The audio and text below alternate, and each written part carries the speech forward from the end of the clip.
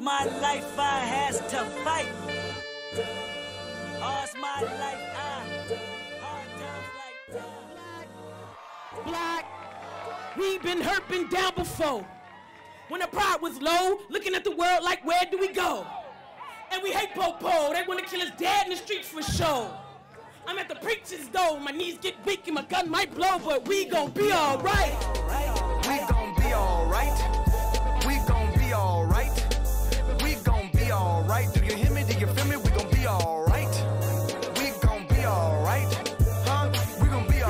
Family out here, as you can see. I got my junior here. I got my wifey here. Got the kids here, and we're having a blast. It's a vibe. I'm seeing the vendors out. The weather is perfect. It's time to be outside. Celebrate Juneteenth. So we came down to Brooklyn because we love Brooklyn. The community is out in full force. We are here to celebrate Juneteenth, Freedom Day. We're standing on the shoulders of our ancestors and just recognizing them and appreciating them for getting us here to this point. We're having a good time. It's a vibe in Brooklyn.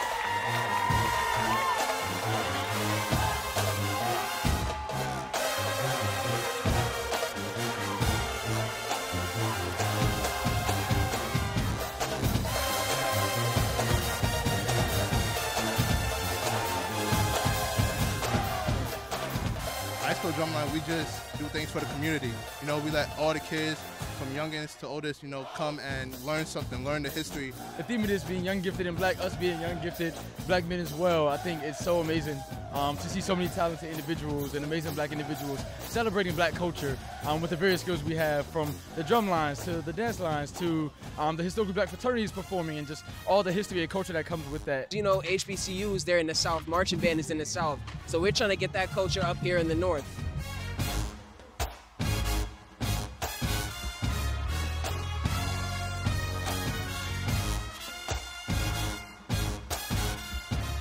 All of these people over here, my brothers and sisters. All, we all gotta go through the same things in life. Everybody is over here. We all a village. We all connect. All a community. Like this summer, We going to college. all these little people. Oh yeah, I'm going to VSU. Feel me? VSU. I'm going to a school in um, Ohio called Wilberforce University. HBCU, of course, of course. All day. HBCU is all day. When you in an environment like this, keep standing be you, it's gonna always give you everything you need in life.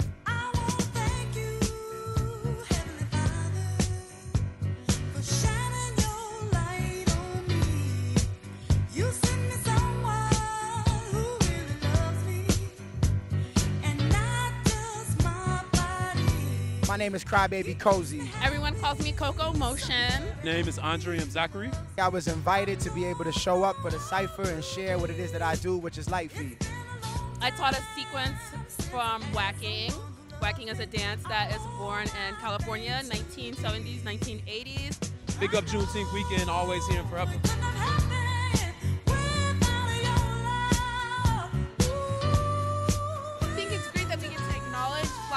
As a whole community and like we're here to stay. Like people are finally recognizing us.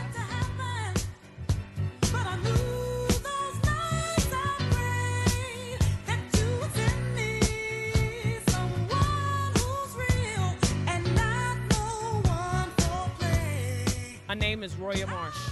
Gabriel Ramirez. Cito Blanco. Stephanie Pacheco. I mean, they keep trying to shut down my library to build a precinct. Never picked cotton before, but I still have your name.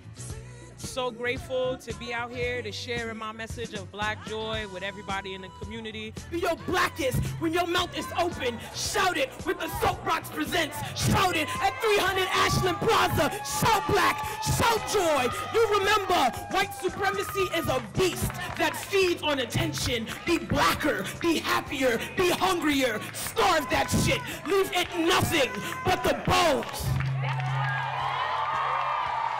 Let them fill your cup up, because it's gonna fill your cup, and hopefully you fill somebody else's cup up. And I think that's how we get to where we need to be, man. It's unity, it's love, and it's dope.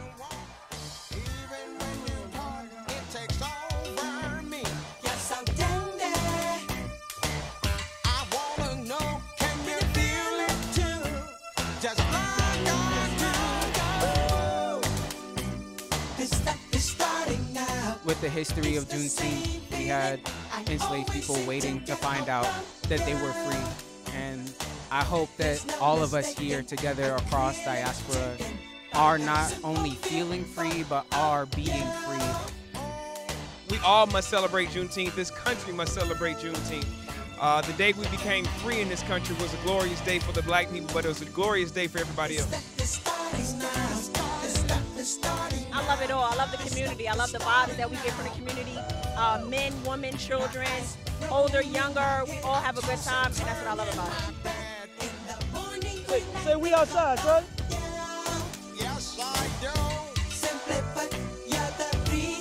Down in Galveston, Texas, we had a whole group of black folks that didn't even know that they were freed. So sharing that message alone. Representing freedom, representing expression of culture and self and all of its beautiful art forms. Um, it's really important that we continue to celebrate and make sure that the next generation understands what Juneteenth was about. Juneteenth is my Independence Day. You're right.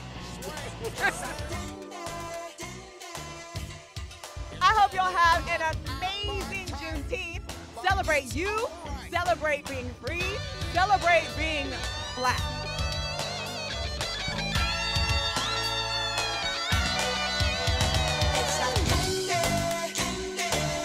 This event is possible through the generosity of so many folks. Firstly, Con Edison, thank you so much for your support. The Howard Gilman Foundation, Lambent Foundation, the Ford Foundation, the New York City Department of Cultural Affairs, and individuals like you.